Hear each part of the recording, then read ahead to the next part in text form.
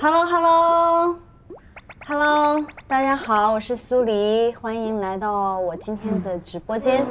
今天呢，想跟大家分享一些我平时看的书籍，我很喜欢的一些。那我今天要分享的是爱德加·爱伦坡的这两本，一个是《莫尔格街凶杀案》，然后还有一个是《金甲虫》。为什么要分享这两本书啊？因为是我老公最近特意买给我的。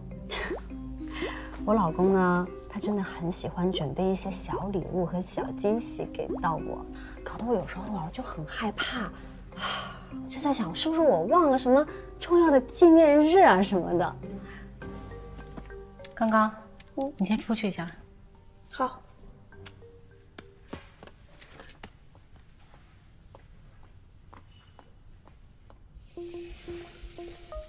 舒恒，你现在就给苏黎打电话。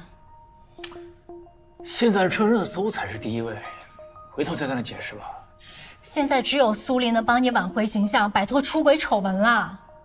现在舆论虽然是一边倒，但是只要苏黎能站出来帮我们澄清，我们只是在读剧本，而且他也会去，甚至这是他组织的剧本会，那那些吃瓜群众肯定就散了，剩下一些杠精。也成不了气候的。对啊，有道理。苏黎怎么会帮我们澄清啊？他又不是傻子，怎么会真的相信我们在读剧本？他不傻。他要是不傻的话，怎么可能被我们埋在骨子里这么久，然后什么都不知道？陷入爱情的女人是什么？瞎子、聋子、傻子。约瑟芬·铁伊。是推理小说女作家四杰之一，然后她的这本《时间的女儿》是最著名的历史推理小说。姐姐，你还好吗？姐姐，热搜是真的吗？你老公现在在哪儿？所有爆料都是真的吗？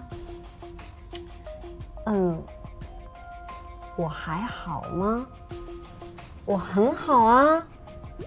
哦，我老公去做造型去了。他新戏不是要开机了吗？姐姐，你快去看热搜，你老公出轨了。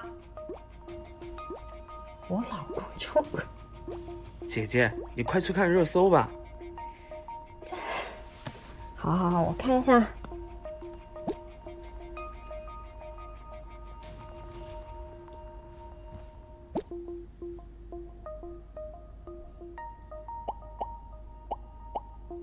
渣男滚出娱乐圈，这种臭男人配不上姐姐。姐姐有才有貌，快点离开这种渣男吧。软饭男都是靠姐姐才出圈的，居然还有脸出轨。不是，这这照片，这照片是 P 的吧？我有个朋友是酒店的工作人员，说那天接到举报有人嫖娼，去抓人，发现居然是他们俩。最重要的是。据说当时是在床上抓的。姐姐微博已经有人证实了，说就住在隔壁，亲眼看到他们俩一起被警察带走，两个人都衣衫不整的样子。